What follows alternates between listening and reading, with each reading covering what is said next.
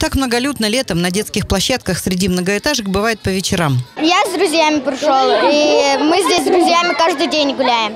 Но сегодня здесь еще и праздник по случаю открытия детской игровой площадки в 12-м микрорайоне после ремонта. Умелый организатор, замечательный координатор ТОС Наталья Михайловна Ключникова собрала и взрослых, и детей в одну команду, которая с воодушевлением красила горки и качели. Администрация города помогла с новыми аттракционами, завезла свежего песка, и теперь на этой большой, уютно расположившейся среди деревьев площадке шумит законный праздник. По инициативе жителей 12-го микрорайона мы провели субботник. Благодарность хотелось бы выразить главе администрации, который нас поддержал в этом мероприятии. Есть предприниматели, которые привезли эту детскую площадку. Детвора здесь участвовали э, в покраске этой детской площадки уборки территории.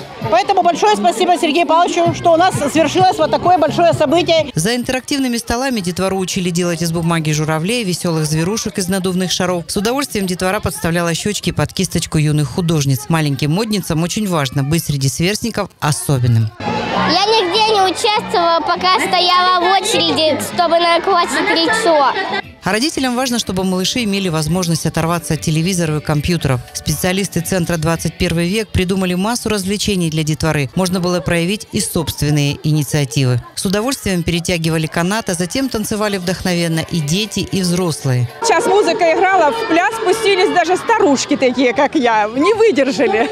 Позитивно очень, мне нравится. И родителю время есть здесь с детьми провести, и вообще отдохнуть. Ну а что, детям маленькие, ну маленькое, но счастье и радость. Здесь хорошо зелено, хорошо, что площадки рассредоточены. Вот моему сыночку понравились шарики, подружкиной доченьке понравились, понравился аквагрим, так что, конечно, всем есть чем заняться. На свежем воздухе детвора скакала и прыгала азартно и заразительно. И было радостно смотреть на этот гвалт и гомон, сознавая, что такие мероприятия на микрорайоне Восточный – дело житейское. По итогам праздника детворе раздавали мороженое, а победители конкурсов получили билеты в кино.